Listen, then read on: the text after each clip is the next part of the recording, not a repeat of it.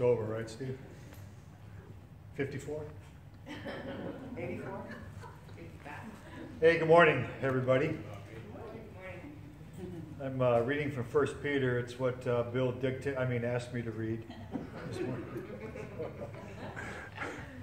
Chapter 1, beginning verse 8. It's kind of interesting. Uh, last few years, this has really been a curious, not a curious passage, but kind of an enlightening, informative passage uh, where the prophets, it, it, it references the prophets as they were writing these things down, asking who they were about and when it was going to happen.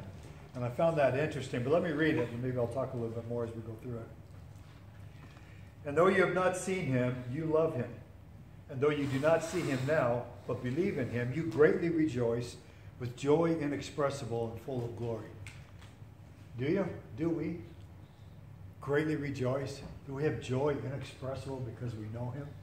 Because we have something waiting for us? It's a question to ask. And what does that joy look like? What, what does it mean to each one of us? Obtaining as the outcome of your faith the salvation of your souls. There's the source of it.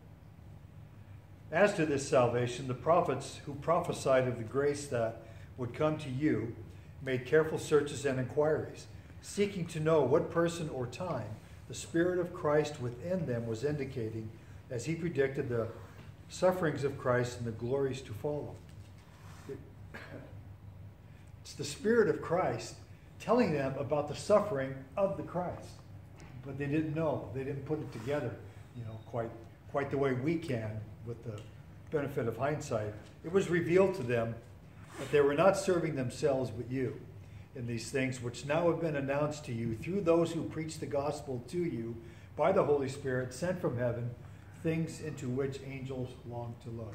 The same Holy Spirit that told them and told them it really isn't any of your business because it's not about you. It's about it's about us. Peter was writing to the churches in Asia Minor, but he's also writing to us. And so what these prophets were wondering about was for our benefit, and they were serving us. And that was the message. You're here serving the Lord and you're serving these people.